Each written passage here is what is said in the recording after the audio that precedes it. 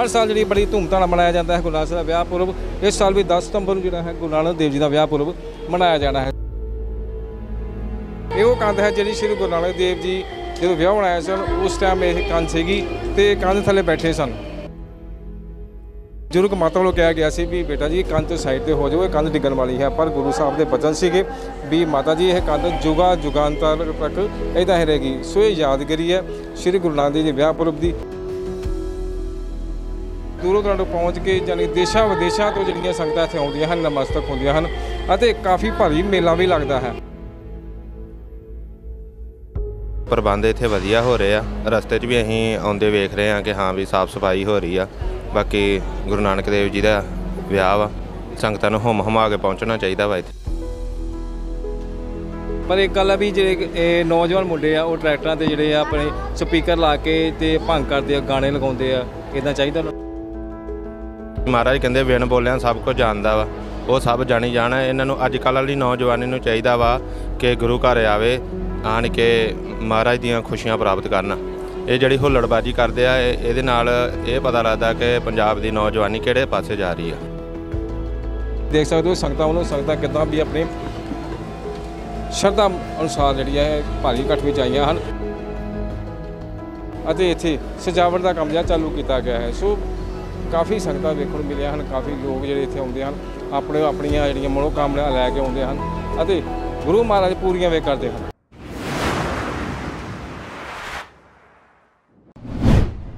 ਸ਼੍ਰੀ ਗੁਰੂ ਨਾਨਕ ਜੀ ਦਾ ਵਿਆਹ ਹਰ ਸਾਲ ਇੱਥੇ ਬੜੀ ਧੂਮਧਾਮ ਨਾਲ ਬਟਾਲੇ ਵਿੱਚ ਮਨਾਇਆ ਜਾਂਦਾ। ਇਸ ਸਾਲ ਵੀ 10 ਸਤੰਬਰ ਨੂੰ ਸ਼੍ਰੀ ਗੁਰੂ ਨਾਨਕ ਦੇਵ ਜੀ ਦਾ ਵਿਆਹ ਪੁਰਬ ਮਨਾਇਆ ਜਾ ਰਿਹਾ ਅਤੇ ਸੰਗਤਾਂ ਵੱਲੋਂ ਇੱਥੇ ਇਹ ਦਰਸ਼ਨ ਕਰਕੇ, ਸ਼੍ਰੀ ਗੁਰੂ ਕੰਨ ਸਾਹਿਬ ਦਰਸ਼ਨ ਕਰਕੇ ਤੇ ਆਪਣੀ ਮਨੋਕਾਮਨਾ ਪੂਰੀਆਂ ਕਰਵਾਈਆਂ ਜਾ ਰਹੀਆਂ ਨੇ। ਕਹਿੰਦੇ ਹਨ ਵੀ ਇੱਥੇ ਜੋ ਵੀ ਆਉਂਦਾ ਹੈ, ਉਹਦੀਆਂ ਮਨੋਕਾਮਨਾ ਪੂਰੀਆਂ ਹੁੰਦੀਆਂ ਹਨ।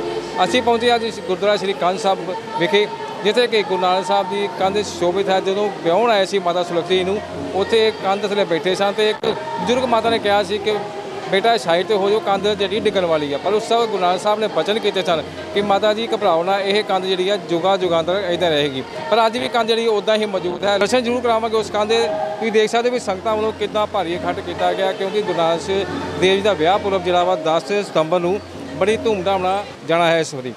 ਕਿਉਂ ਹਰ ਸਾਲ ਜਿਹੜੀ ਬੜੀ ਧੂਮਧਾਮ ਨਾਲ ਮਨਾਇਆ ਜਾਂਦਾ ਹੈ ਗੁਰੂ ਨਾਨਕ ਦਾ ਵਿਆਹ ਪੁਰਬ।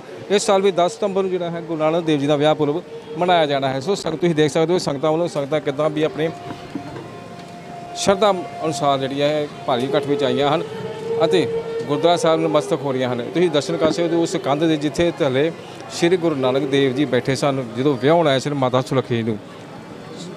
ਸੋ ਇਹ ਉਹ ਕੰਧ ਜਿਹੜੀ ਅੱਜ ਤੱਕ ਇੱਥੇ ਹੈਗੀ ਆ। ਗੁਰੂ ਨਾਨਕ ਸਾਹਿਬ ਨੇ ਉਦੋਂ ਬਚਨ ਕੀਤੇ ਸਨ ਵੀ ਇਹ ਕੰਧ ਜੁਗਾ ਜੁਗਾ ਤਰ ਇਦਾਂ ਹੀ ਰਹੇਗੀ। ਸੋ ਤੁਸੀਂ ਦ- ਦੇਖ ਸਕਦੇ ਹੋ ਤਸਵੀਰਾਂ ਵਿੱਚ ਵੀ ਕਿਸ ਤਰ੍ਹਾਂ ਸੰਗਤਾਂ ਵੱਲੋਂ ਜਿਹੜਾ ਕਿ ਇੱਥੇ ਪਹੁੰਚ ਕੇ ਗੁਰੂ ਮਹਾਰਾਜ ਦੇ ਸਾਹਮਣੇ ਨਮਸਤਕ ਹੋ ਰਹੀਆਂ ਹਨ। ਕਿਉਂਕਿ ਦੂਰੋਂ ਦੂਰੋਂ ਗੁੜੀ ਇੱਥੇ ਸੰਗਤਾਂ ਜਿਹੜੀਆਂ ਆਉਂਦੀਆਂ ਹਨ, ਨਮਸਤਕ ਹੁੰਦੀਆਂ ਹਨ, ਆਪਣੀ ਮਨੋਕਾਮਨਾ ਪੂਰੀਆਂ ਕੀਤੀਆਂ ਜਾਂਦੀਆਂ ਹਨ ਸੰਗਤਾਂ ਦੀਆਂ ਗੁਰੂ ਨਾਨਕ ਸਾਹਿਬ ਵੱਲੋਂ। ਕਿਉਂ ਹੁਣ ਇਸ ਸਾਲ ਵੀ ਗੁਰੂ ਨਾਨਕ ਸਾਹਿਬ ਦਾ ਵਿਆਹ ਪੁਰਬ ਜਿਹੜਾ ਹੈ 10 ਸਤੰਬਰ ਨੂੰ ਮਨਾਇਆ ਜਾਣਾ ਹੈ। ਜਿਹੜਾ ਕਿ ਸੰਗਤਾਂ ਵੱਲੋਂ ਇੱਥੇ ਪਹੁੰਚ ਕੇ, ਦੂਰੋਂ ਦੂਰੋਂ ਪਹੁੰਚ ਕੇ ਜਾਨੀ ਦੇਸ਼ਾਂ ਵਿਦੇਸ਼ਾਂ ਤੋਂ ਜਿਹੜੀਆਂ ਸੰਗਤਾਂ ਇੱਥੇ ਆਉਂਦੀਆਂ ਹਨ, ਨਮਸਤਕ ਹੁੰਦੀਆਂ ਹਨ ਅਤੇ ਕਾਫੀ ਭਾਰੀ ਮੇਲਾ ਵੀ ਲੱਗਦਾ ਹੈ। ਜੋੜ ਮੇਲਾ ਕਹਿ ਸਕਦੇ ਹਾਂ ਜਾਂ ਤਿੰਨ ਚਾਰ ਦਿਨ ਚੱਲਦਾ ਹੈ। ਸੰਗਤਾਂ ਵੱਲੋਂ ਆਇਆ ਜਾਂਦਾ ਹੈ, ਇਸ ਕੰਧ ਦੇ ਦਰਸ਼ਨ ਕੀਤੇ ਜਾਂਦੇ ਹਨ। ਤੇ ਗੁਰੂ ਸਾਹਿਬ ਦੇ ਅੱਗੇ ਹਾਜ਼ਰੀ ਭਰੀ ਜਾਂਦੀ ਹੈ। ਸੋ ਤੁਸੀਂ ਦੇਖ ਸਕਦੇ ਹੋ, ਉਸ ਕੰਧ ਦੇ ਇਹ ਕੰਧ ਹੈ ਜਿਹੜੀ ਸ੍ਰੀ ਗੁਰੂ ਨਾਨਕ ਦੇਵ ਜੀ ਜਦੋਂ ਵਿਆਹ ਬਣਾਇਆ ਸਨ, ਉਸ ਟਾਈਮ ਇਹ ਕੰਧ ਸੀਗੀ ਤੇ ਕੰਧ ਥੱਲੇ ਬੈਠੇ ਸਨ। ਤੇ ਇੱਕ ਬਜ਼ੁਰਗ ਮਾਤਾ ਵੱਲੋਂ ਕਿਹਾ ਗਿਆ ਸੀ ਵੀ ਬੇਟਾ ਜੀ ਕੰਧ ਸਾਈਡ ਤੇ ਹੋ ਜਾਓ, ਇਹ ਕੰਧ ਡਿੱਗਣ ਵਾਲੀ ਹੈ। ਪਰ ਗੁਰੂ ਸਾਹਿਬ ਦੇ ਬਚਨ ਸੀਗੇ ਵੀ ਮਾਤਾ ਜੀ, ਇਹ ਕੰਧ ਜੁਗਾ ਜੁਗਾਂਤਰ ਤੱਕ ਇਦਾਂ ਹੀ ਰਹੇਗੀ। ਸੋ ਇਹ ਯਾਦਗਾਰੀ ਹੈ ਸ੍ਰੀ ਗੁਰੂ ਨਾਨਕ ਦੇਵ ਜੀ ਦੇ ਵਿਆਹ ਪੁਰਬ ਦੀ।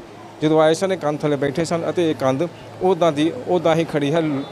ਸੰਗਤਾਂ ਆਉਂਦੀਆਂ ਹਨ, ਦਰਸ਼ਨ ਕਰਦੀਆਂ ਹਨ। ਸੋ ਤਸਵੀਰਾਂ ਮੈਂ ਸਾਂਝੀਆਂ ਕਰਾਂਗਾ ਇਸ ਗੁਰਦੁਆਰਾ ਕੰਨ ਸਾਹਿਬ ਦੀਆਂ, ਜਿੱਥੇ ਤੁਸੀਂ ਦੇਖ ਸਕਦੇ ਹੋ ਵੀ ਬਹੁਤ ਵਧੀਆ ਗੁਰਦੁਆਰਾ ਸਜਾਇਆ ਗਿਆ ਹੈ। ਫੁੱਲਾਂ ਨਾਲ ਸਜਾਵਟ ਹੋਈ ਹੈ ਅਤੇ ਹੋਰ ਵੀ ਸਜਾਵਟ ਹੋਣੀ ਹੈ ਸੰਗਤਾਂ ਵੱਲੋਂ ਜਿਹੜਾ ਕਿ ਚਹਿਲ ਪਹਿਲ ਚਾਲੂ ਹੈ, ਆਉਂਦੀਆਂ ਹਨ, ਜਾਂਦੀਆਂ ਹਨ, ਮਸਤਕ ਹੁੰਦੀਆਂ ਹਨ, ਮੱਥਾ ਟੇਕਦੀਆਂ ਹਨ ਗੁਰਦੁਆਰਾ ਸਾਹਿਬ ਦੇ।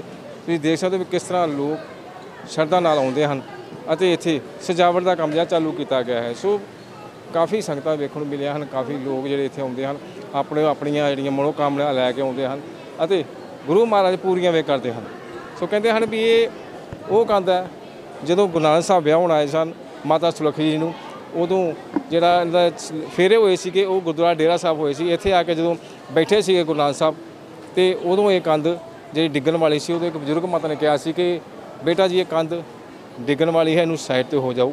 ਪਰ ਗੁਰੂ ਨਾਨਕ ਸਾਹਿਬ ਨੇ ਬਚਨ ਕੀਤੇ ਸੀ ਕਿ ਮਾਤਾ, ਇਹ ਕੰਧ ਜਿਹੜੀ ਆ, ਜੁਗਾ ਜੁਗਾਂਤਾ ਤੱਕ ਇਦਾਂ ਰਹੇਗੀ, ਇਹ ਸਾਡੇ ਵਿਆਹ ਦੀ ਨਿਸ਼ਾਨੀ ਰਹੇਗੀ। ਅੱਜ ਵੀ ਕੰਧ ਮੌਜੂਦ ਹੈ, ਸੋ ਕੰਧ ਦੇ ਦਰਸ਼ਨ ਤੁਹਾਨੂੰ ਕਰਾਤੇ, ਹੋਰ ਗੱਲਬਾਤ ਵੀ ਕਰਦੇ ਹਾਂ, ਸੰਗਤਾਂ ਵੀ ਆਈਆਂ ਸੰਗਤਾਂ ਨਾਲ ਗੱਲਬਾਤ ਕਰਾਂਗੇ, ਕਿਉਂਕਿ ਸੰਗਤਾਂ ਦੂਰੋਂ ਦਰਾਡੀਆਂ ਦੇਸ਼ਾਂ ਵਿਦੇਸ਼ਾਂ ਤੋਂ ਸੰਗਤਾਂ ਆਉਂਦੀਆਂ ਹਨ, ਜਿਹੜੀਆਂ ਇੱਥੇ ਕਿ ਨਮਸਤਕ ਹੋਣ ਆਉਂਦੀਆਂ ਹਨ। ਸੋ ਤਸਵੀਰਾਂ ਤੁਸੀਂ ਸਾਂਝੀਆਂ ਕਰ ਰਹੇ ਹੋ ਗੁਰਦੁਆਰਾ ਸ੍ਰੀ ਕੰਨ ਸਾਹਿਬ ਬਟਾਲਾ ਵਿਖੇ, ਜ਼ਿਲ੍ਹਾ ਗੁਰਦਾਸਪੁਰ ਦਾ, ਜਿੱਥੇ ਕਿ ਪਹਾੜੀ ਮੇਲਾ ਲੱਗਦਾ ਹੈ, ਜਦੋਂ ਗੁਰੂ ਨਾਨਕ ਜੀ ਦਾ ਵਿਆਹ ਪੁਰਬ ਮਨਾਇਆ ਜਾਂਦਾ ਹੈ ਸੰਗਤਾਂ ਜਿਹੜੀਆਂ ਬਹੁਤ ਦੂਰੋਂ ਆਉਂਦੀਆਂ ਦੇਸ਼ਾਂ ਵਿਦੇਸ਼ਾਂ ਆਉਂਦੀਆਂ ਸੋ ਗੱਲਬਾਤ ਕਰਨ ਲਈ ਸਾਡੇ ਨਾਲ ਬੈਠੇ ਨੇ। ਸਤਿ ਸ਼੍ਰੀ ਅਕਾਲ ਵੀਰ ਜੀ। ਵਾਹਿ ਖਾਲਸਾ ਵਾਹਿਗੁਰੂ ਜੀ ਕੀ ਫਤਿਹ ਜੀ। ਵੀਰ ਜੀ ਕੀ ਨਾਮ ਹੈ ਆਪਣਾ ਜੀ? ਮੇਰਾ ਨਾਮ ਦਵਿੰਦਰ ਸਿੰਘ ਆ ਜੀ।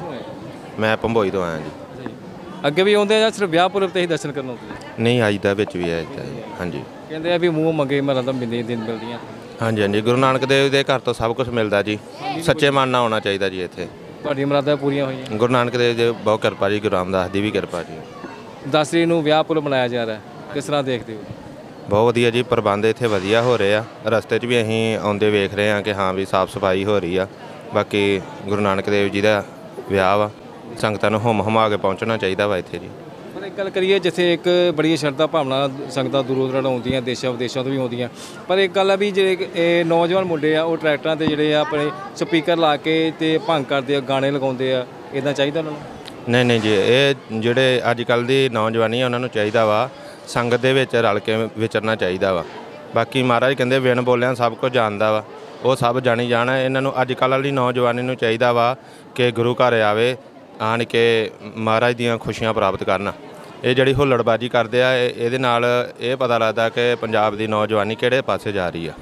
ਇਹਨਾਂ ਨੂੰ ਆਉਣਾ ਚਾਹੀਦਾ, ਸਿੰਘ ਸੱਜਣਾ ਚਾਹੀਦਾ, ਅਮਰ ਛਕ ਕੇ ਤੇ ਗੁਰੂ ਵਾਲੇ ਬਣਨਾ ਚਾਹੀਦਾ ਇਹਨਾਂ ਨੂੰ। ਜੀ, ਬਿਲਕੁਲ। ਸੰਗਤਾਂ ਵੱਲੋਂ ਵੀ ਕਿਹਾ ਗਿਆ ਕਿ ਜੇ ਆਉਣਾ ਵਾ ਤਾਂ ਸਿੰਘ ਸੱਜ ਕੇ ਆਓ। ਜਿਹੜੇ ਨਗਰ ਕੀਰਤਨ 'ਚ ਹਿੱਸਾ ਲੈਣਾ ਵਾ ਤਾਂ ਆਪਣੀ ਸ਼ਰਧਾ ਮਰਿਆਦਾ ਨਾਲ ਲਓ ਇਹ ਜੇ ਹੁੱਲੜਬਾਜੀ ਕਰਨ ਦੀ ਕੋਈ ਲੋੜ ਨਹੀਂ। ਤਸਵੀਰਾਂ ਮੈਂ ਸਾਂਝੀਆਂ ਕਰਾਂਗਾ ਸਕੂਲਾਂ ਤੋਂ ਵੀ ਬੱਚੇ ਆਏ ਨੇ ਇੱਥੇ ਨਮਸਤਕ ਹੋਣ ਆਏ ਨੇ ਮੱਥਾ ਟੇਕਣ ਆਏ ਨੇ। ਕਿਤੇ ਨਾ ਕਿਤੇ ਕਹਿਣ ਆਏ ਬਾਬੇ ਨੂੰ ਵੀ ਸਾਨੂੰ ਪੇਪਰਾਂ ਪਾਸ ਕਰ ਦੇਈ। ਹਾਂਜੀ ਬੇਟਾ ਕਿੱਥੋਂ ਆਏ ਹੋ? ਏਵੀਐਮ ਸਕੂਲ ਕਿੰਨਵੀਂ 'ਚ ਪੜ੍ਹਦੇ ਹੋ? ਫੋਰਥ ਕੀ ਕਰਨ ਆਏ ਹੋ ਇੱਥੇ ਗੁਰਦੁਆਰਾ ਸਾਹਿਬ? ਮੱਥਾ ਟੇਕਣ। ਕੀ ਮੰਗਿਆ ਬਾਬੇ ਕੋਲ? ਇਹ ਮੈਂ ਪਾਸ ਹੋਇਆ ਪੇਪਰਾਂ ਚ। ਪ- ਪਾਸ ਹੋ ਜੀ। ਪੇ- ਪਾਸ ਹੋ ਜਾ? ਹਾਂਜੀ। ਪਰ ਬੇਟਾ ਪੇਪਰ ਕਰੇਗਾ ਤਾਂ ਫੇਰ ਹੀ ਪਾਸ ਹੋਏਗਾ। ਹਾਂਜੀ। ਹੋਰ ਬੇਟਾ ਤੁਹਾਡਾ ਕੀ ਨਾਮ? ਆਸ਼ੀਸ਼ ਕੀ ਕਰਨਾ ਆਏ ਹੋ? ਮੱਥਾ ਟੇਕਣ। ਬਾਬੇ ਕੋ ਕੀ ਮੰਗਿਆ? ਪਾਸ ਹੋਇਆ। ਪਾਸ ਸਾਰਿਆਂ ਨੇ ਪਾਸ ਹੀ ਹੋਣਾ। ਹੈ। ਪੇਪਰਾਂ ਕੁਝ ਕਰਨਾ ਵੀ ਹੈ ਕਿ ਨਹੀਂ? ਕਰਨਾ। ਕਰੋਗੇ ਨਾ? ਹਾਂਜੀ। ਬੇਟਾ, ਕਰੋਗੇ, ਪੜ੍ਹਾਈ ਕਰੋਗੇ ਤੇ ਫੇਰ ਹੀ ਬਾਬੇ ਨੇ ਪਾਸ ਕਰਨਾ। ਠੀਕ ਹੈ ਨਾ? ਦੀਦੀ ਦੇਖ ਸਕਦੇ ਹੋ ਵੀ ਕਿਸ ਤਰ੍ਹਾਂ ਬੱਚੇ ਵੀ ਆਏ ਨੇ, ਮੱਥਾ ਟੇਕਣ ਆਏ। ਸੋ, ਲੇਕਿਨ ਇਹ ਬੱਚੇ ਨੇ ਕਹਿੰਦੇ ਪਾਸ ਹੋਣਾ ਹੈ। ਅਸੀਂ ਵੀ ਜੇ ਛੋਟੇ ਹੁੰਦੇ ਅਸੀਂ ਇਹੀ ਅਰਦਾਸਾਂ ਕਰਦੇ ਸਾਂ ਵੀ ਰੱਬਾ ਸਾਨੂੰ ਪਾਸ ਕਰ ਦੇ। ਪਰ ਜੇ ਕੁਝ ਲਿਖਾਂਗੇ ਪੜਾਂਗੇ ਪੇਪਰਾਂ 'ਚ ਲਿਖਾਂਗੇ ਤੇ ਫੇਰ ਹੀ ਪਾਸ ਹੋਵਾਂਗੇ। ਤਸਵੀਰਾਂ ਇੱਕ ਵਾਰੀ ਮੈਂ ਸਾਂਝੀਆਂ ਕਰਦਾ।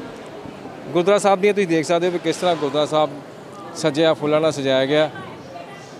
ਅਜੇ ਹੋਰ ਵੀ ਡੈਕੋਰੇਸ਼ਨ ਹੋਣੀ ਹੈ, ਕਿਉਂਕਿ ਬੜਾ ਚਾਅ ਇੱਕ ਹੁੰਦਾ ਬਟਾਲੇ ਵਾਲਿਆਂ ਨੂੰ, ਜੇ ਸ਼੍ਰੀ ਗੁਰੂ ਨਾਨਕ ਦੇਵ ਦਾ ਵਿਆਹ ਪੁਰਬ ਮਨਾਇਆ ਜਾਣਾ ਹੁੰਦਾ, ਉਦੋਂ ਸਾਰੇ ਬਟਾਲੇ 'ਚ ਹੀ ਲੜੀਆਂ ਲੱਗਦੀਆਂ, ਸਾਰੇ ਬਟਾਲੇ 'ਚ ਹੀ ਇਹੋ ਜਿਹਾ ਮਾਹੌਲ ਬਣਿਆ ਹੁੰਦਾ, ਮੇਲੇ ਵਰਗਾ ਮਾਹੌਲ ਬਣਿਆ ਹੁੰਦਾ, ਕਿਉਂਕਿ ਚਾਅ ਹੀ ਬੜਾ ਹੁੰਦਾ ਲੋਕਾਂ ਨੂੰ ਸ਼੍ਰੀ ਗੁਰੂ ਨਾਨਕ ਦੇਵ ਦਾ ਵਿਆਹ ਪੁਰਬ ਮਨਾਉਣ ਦਾ। ਸੋ ਇਹ ਤਸਵੀਰਾਂ ਨੇ ਗੁਰਦੁਆਰਾ ਸ੍ਰੀ ਕੰਨ ਸਾਹਿਬ ਦੀਆਂ ਜੋ ਦਰਸ਼ਨ ਕਰਾ ਰਹੇ ਸੀ ਆਪਾਂ ਦਰਸ਼ਕਾਂ ਨੂੰ, ਜਿਹੜੇ ਨਹੀਂ ਆ ਸਕਦੇ ਉਹ ਬੈਠੇ ਬਿਠਾਏ ਦਰਸ਼ਨ ਕਰ- ਦਰਸ਼ਨ ਕਰ ਸਕਦੇ ਨੇ, ਕਿ ਗੁਰਦੁਆਰਾ ਸ੍ਰੀ ਕੰਨ ਸਾਹਿਬ ਦਾ ਜਦੋਂ ਗੁਰੂ ਨਾਨਕ ਸਾਹਿਬ ਮਾਤਾ ਸੁਲੱਖੀ ਨੂੰ ਵਿਆਹ ਵਿਆਹਣ ਆਏ ਸਨ ਤਾਂ ਇਸ ਥਾਂ- ਸਥਾਨ ਤੇ ਆ ਕੇ ਬੈਠੇ ਸਨ ਤੇ ਕੱਚੀ ਕੰਧ ਸੀ ਹੁਣ ਵੀ ਕੱਚੀ ਹੈ, ਉਦੋਂ ਦੀ ਕੰਧ ਹੈ ਜਿਹੜੀ ਹੁਣ ਤੱਕ ਇੱਥੇ ਕੰਧ ਸਥਾਪਿਤ ਹੈ। ਸੋ ਆਓ ਦਰਸ਼ਨ ਕਰੋ ਅਤੇ ਗੁਰੂ ਘਰ ਦੀਆਂ ਖੁਸ਼ੀਆਂ ਪ੍ਰਾਪਤ ਕਰੋ।